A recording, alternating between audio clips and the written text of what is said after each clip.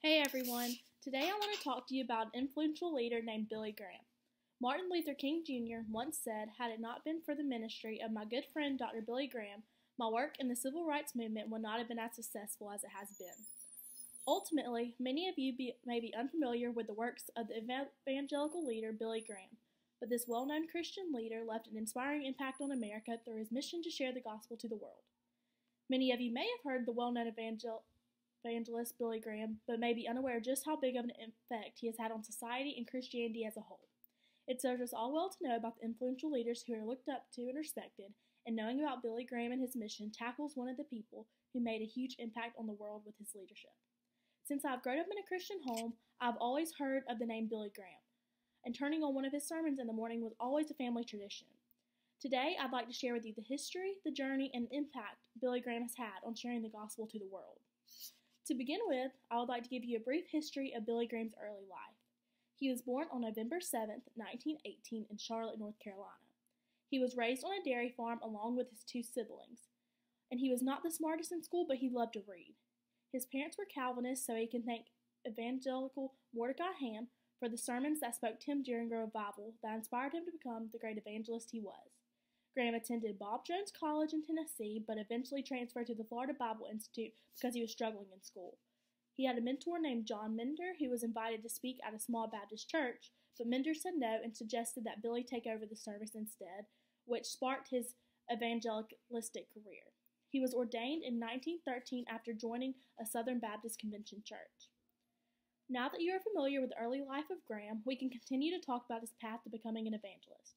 Billy Graham began by being a guest on Stuart Hamblen's radio show in 1949. The doors then opened for him to come broadcasting his sermons to the world. He was a pastor for the First Baptist Church in Western Springs, Illinois, and after that, he then led Youth for Christ, which focused on sharing the gospel to servicemen and young people.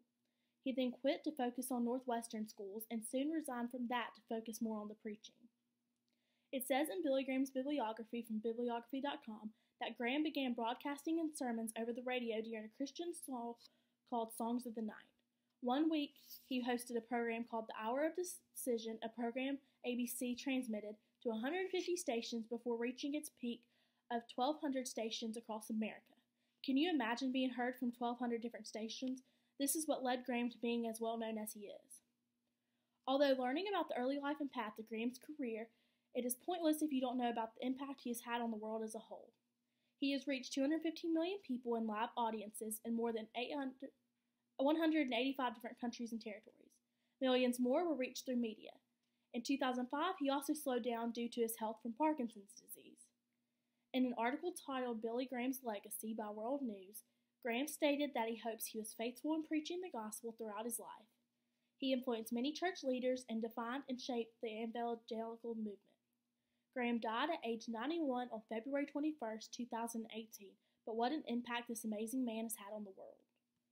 To conclude, Billy Graham has had a huge impact on the world as a leader and his influence. We have discussed Graham's early life, his journey to become a successful evangelist, and his impact on sharing the gospel to the world.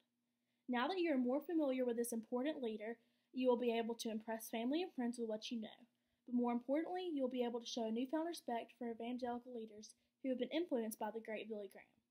To conclude, the Christian Broadcasting Network states In a windstorming change of values and shifting circumstances, Graham is still the point in the American moral universe.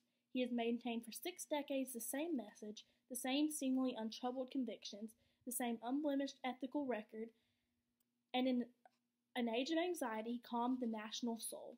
Billy Graham, the motivator, the leader, and the evangelist. Thank you for listening.